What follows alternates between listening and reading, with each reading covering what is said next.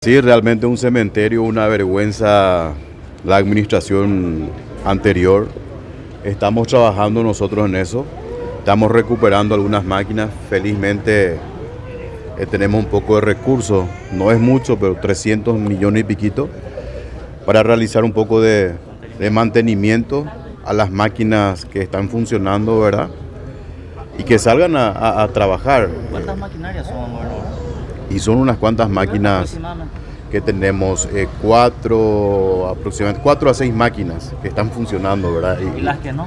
y las que no es imposible realmente, ¿eh? tenemos que hacer eh, magia, magia ¿Siguen- prácticamente. ¿Siguen esparcidas? No, están ahí en el campamento, ya hay máquinas que están trabajando, tenemos, ¿Cuántas máquinas se podría arreglar también por ese fondo que se estamos puede? trabajando, no quiero ser irresponsable, ¿verdad? Está el, el- el mecánico, ¿verdad? Haciendo su, su trabajo correspondiente, relevamiento de datos primeramente, ¿verdad? Y bueno, es una, una vergüenza realmente. Gobernador, estuvo eh, denunciando que en, el periodo anterior siempre cuestionaron lo- la- la ma- el estado de las maquinarias y se le decía que no había presupuesto para la reparación. Pero ya con su corte administrativo se encontró de que sí hay presupuesto. Había sido hoy la plata, hoy la más de 300 millones, ¿verdad? Por eso digo que acá falta voluntad, patriotismo. A mí no me va a temblar las manos, es más, le invito a la gente que se vayan al campamento, que vean. Eh, tiene un, un proceso también para adjudicar. Felizmente acá los compañeros concejales departamentales están recomendando un taller, ¿verdad?, de Coronel Oviedo que está realizando un buen trabajo sobre la- el tema de las máquinas.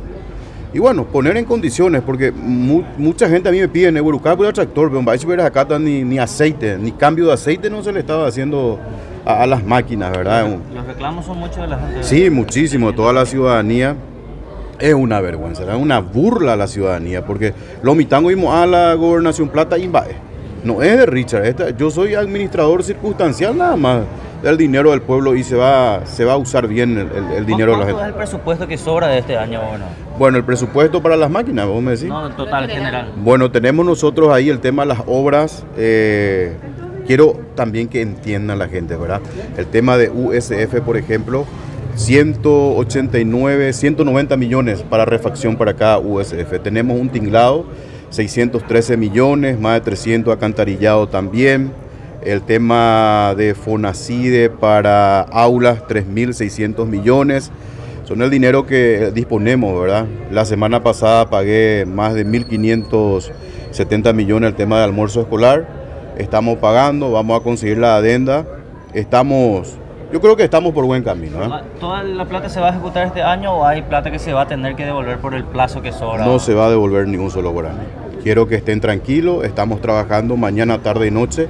Todo el dinero se va a ejecutar en el ¿Hay transcurso de este. combustible? ¿Cómo? Para- ¿hay, ¿Hay recursos para combustible? No, hay una deuda de 200 millones y piquito con Petropar. Es- eh, le voy a poner un ejemplo. Si Richard Peralta tiene una deuda en el almacén, si yo tengo deuda, ajá, pagarle esa deuda para que me puedan dar. Y hay recursos, o sea que hay que pagar la deuda, está la plata, yo voy a pagar a Petropar para poder tener también 200 millones en, combustible. Es lo que la ley eh, nos habilita, ¿verdad? Y por eso 200 millones no es mucho, pero también es buena plata si se usa bien el, el dinero. ¿eh?